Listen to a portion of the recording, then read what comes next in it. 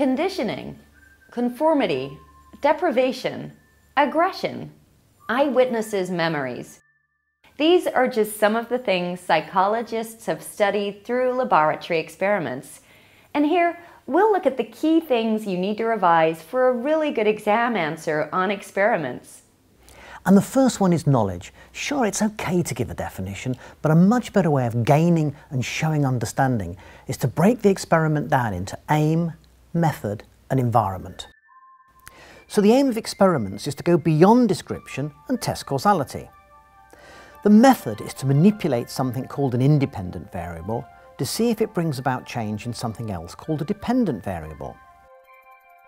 For example, a common way of trying to isolate the independent variable is by randomly dividing participants into an experimental and a control group, and then only apply the independent variable to the experimental group. And the laboratory is a closed environment, where the influence of other variables can, as far as possible, be kept constant. So a laboratory experiment is a test of the effect of one variable on another under closed conditions. And you'll also need some application to show understanding. So make sure you have some good examples of psychological experiments to illustrate your explanation.